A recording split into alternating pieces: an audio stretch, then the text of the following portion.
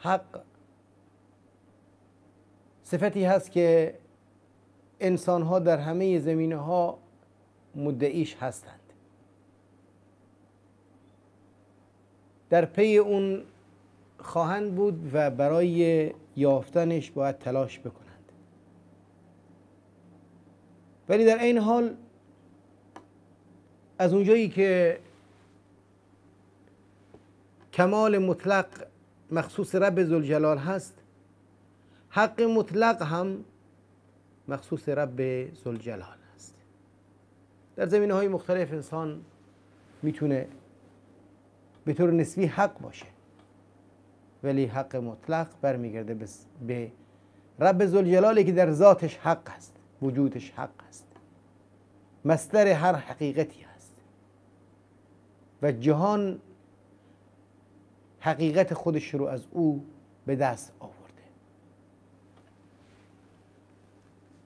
گفتیم که وقتی که ما این صفت رو در زندگی خودمون استفاده می‌کنیم یا به نحوی وصل می‌کنیم مخلوق رو با این صفت جنبه مختلف داره. گاهی گفتار و اعتقاد و اندیشه ای رو با این صفت وصل می‌کنیم میگیم حق هست. برعکس اون میگیم باطل هست.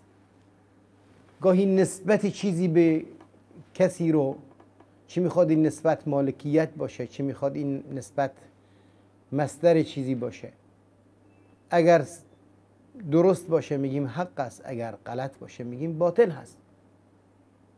اگر حکمی که صادر میشه در ارتباط با موضوع معینی فرد معینی اگر به جا باشه میگیم حق است اگر بی جا باشه میگیم باطل هست.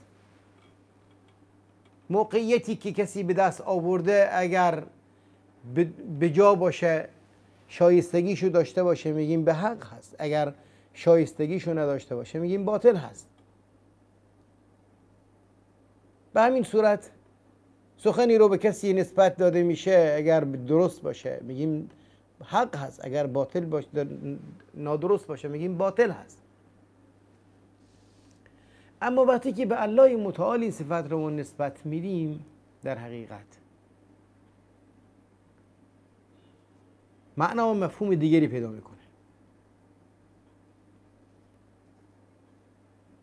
وقتی به الله متعال این صفت رو نسبت میدیم در واقع شایستگی او رو در تمام زمینه ها در بر داره. مقام شایسته ای که تمام حقیقت ها از او سرچشمه می‌گیره. ذاتش حق است. هرچه گفت حق است. هرچه امر کرد حق است. یعنی به جا هست درست هست یعنی درش خطایی وجود نداره. قوله الحق. مقامش حق است. رب حق هست اله حق هست مالک مطلق حق هست حاکم این زمین و آسمان به حق هست ولایت و سرپرستی جهان رو به حق داره. کمال صفت رو به حق داره.